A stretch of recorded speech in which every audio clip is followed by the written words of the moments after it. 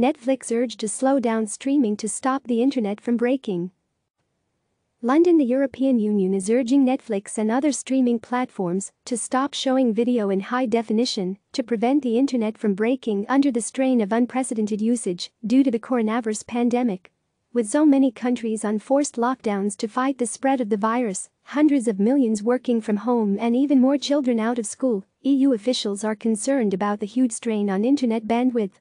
European Commissioner Thierry Breton, who is responsible for the EU internal market covering more than 450 million people, tweeted Wednesday evening that he had spoken with Netflix, NFLX, CEO Reed Hastings. Breton called on people and companies to number switch to standard definition when HD is not necessary in order to secure internet access for all. A Netflix spokesperson told CNN Business that Hastings and Breton will speak again on Thursday. Commissioner Breton is right to highlight the importance of ensuring that the internet continues to run smoothly during this critical time, the Netflix spokesperson said.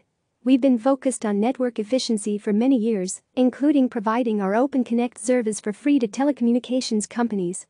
Netflix said it already adjusts the quality of streams to available network capacity and uses a special delivery network that keeps its library closer to users as a way of consuming less bandwidth.